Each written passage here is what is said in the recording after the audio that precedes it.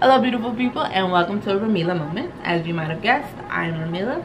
Thank you for all your views and if you like this video, please give it a thumbs up and if you don't like this video, give it a thumbs up anyway. Um, and don't forget to subscribe. So today's video will be on um, my microblading and shading healing process. So if you were looking for anything other than just the healing process, I'm not going to give you any other information. So this is not the video for you. Um, but I will be doing a Q&A video. So you should stay tuned for that.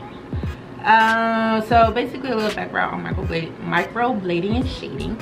It is a, a cosmetic tattooing procedure. They use very small needles with um, pigment to create hair-like strokes to make your eyebrows fuller or give it a different shape, whatever you want basically. I've had mine for about five months now and it has totally changed my life. Um, I'm more confident. I go to sleep with eyebrows on. I wake up with eyebrows on. I ain't worried about if I have a scratch on my face, an itch on my face, if I scratch it, my eyebrows will come off. No, like it has definitely changed my life.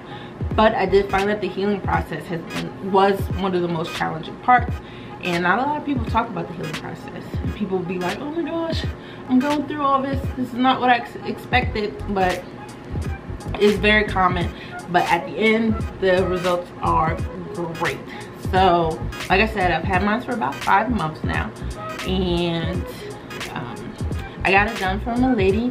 Her name is Stevie. She has her own company called Brow Almighty. She's located in New Jersey. If you are going to travel there, give her a look, especially if you're looking. She's amazing. She's informative. She's so sweet. And she knows whatever you got questions, she knows the answers. And she works on all skin tones. And she knows the differences between, you know, if your skin's going to take this, if your skin is not going to take this.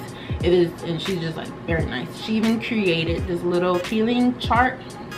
It is so cute.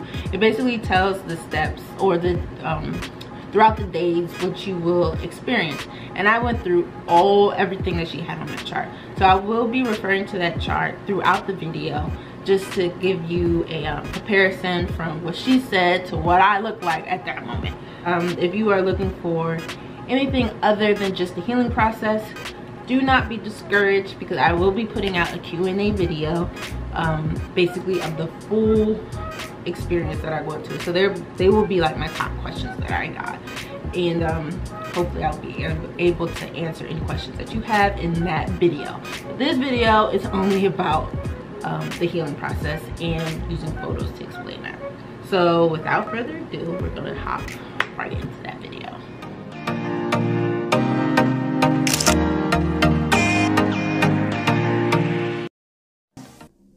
So this is the cute chart that she created that I'll be referring to. As you can see, it has the days and description of what your eyebrows should look like. This is what my eyebrows look like before the microblading and shading.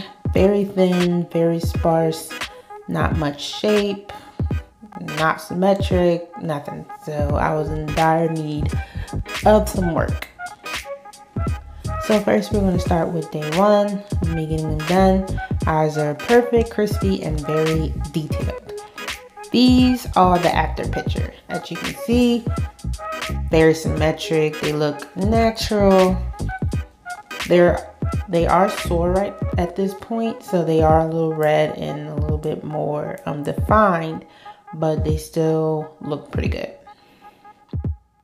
The next one was that the brows will temporarily darken and few shades deeper. Now you can see my eyebrows are extremely dark. Next, five to seven days, each strokes will flake and shed off the skin. As you can see, the eyebrows are rising up a little bit and it is starting to scab. It has like a lot of texture. Here you can see chunks falling off and flakes coming off. So this was like really a difficult time for me because it's like my eyebrows look a mess and there's nothing you can do about it because you're supposed to just let them heal so you don't touch them, don't mess with them, nothing. So this was like really tough for me because I looked crazy. Absolutely crazy. And like the more they flaked off, the worse it looked. The next one was day 8 to 10. Brows will appear extremely light and skin appears milky. So this is like after all of the flakes basically come off. So as you can see, there's like little spaces. My skin does look a little light. So on this one, I will be doing the day 14 and 28 and brows will resurface but may look patchy in some areas. This is the time where she recommends getting a touch up, which will be after eight, six to eight weeks. So then she could fill up any patches or any work that you feel that needs to be done. She will fix it to your liking. Now this picture is before I went to get them looked at. You can see they're still a little spacey and a little sparse. This picture is after I got them redone. As you can see, they look very natural and I really like them. Days five to seven was the worst for me, but in the end, they look great and I would do it all again. I really hope that these pictures were helpful. I just want to thank you so much for watching and I hope to see you for my next video.